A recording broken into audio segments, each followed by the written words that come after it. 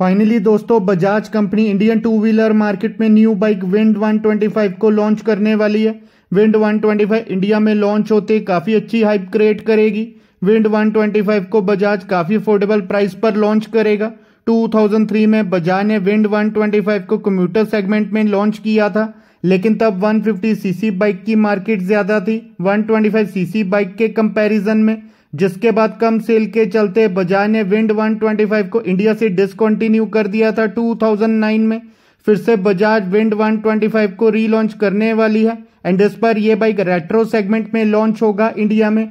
तो आज के वीडियो में बात करेंगे ऑल न्यू अपकमिंग विंड 125 के लॉन्च आपको कब तक देखने को मिलेगा प्राइस कितना रखा जाएगा। सो कंप्लीट डिटेल के लिए वीडियो को एंड तक देख लेना ताकि आपको सारी इंफॉर्मेशन मिल जाए। चलिए शुरू करते हैं आज के रिव्यू को। इंडियन मार्केट में स्पोर्टी बाइक में काफ़ी ऑप्शन मिल जाती है 125 सीसी सेगमेंट में। लेकिन 125 सीसी इंजन में आपको एक भी रेट्रो बाइक की ऑप्शन नहीं मिलती। सो इस सेगमेंट में बजाज विंड 125 को लॉन्च करेगा, जो कि मॉडर्न रेट्रो लुक में लॉन्च होगा इंडिया में। सो ओवरऑल डिज़ाइन शानदार रेट्रो लुक्स में होगा इस बाइक का।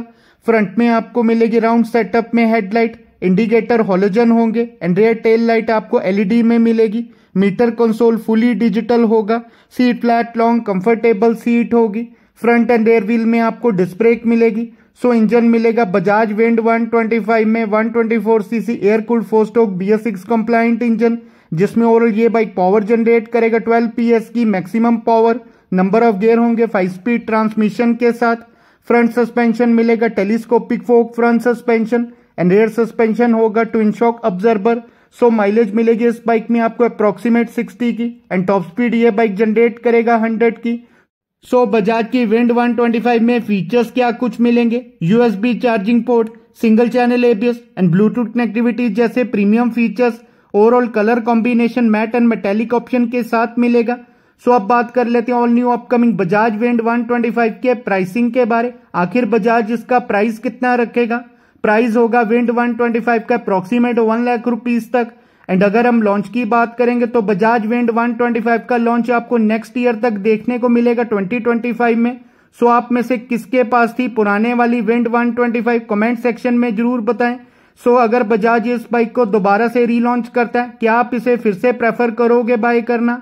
सो होप करता हूँ आज की वीडियो आपको काफ़ी इंफॉर्मेटिव लगी होगी। चैनल को ज़रूर सब्सक्राइब कर लें ताकि कोई भी अपडेट मिस ना हो। एंड आप मुझे इंस्टाग्राम पे डीएम कर सकते हो।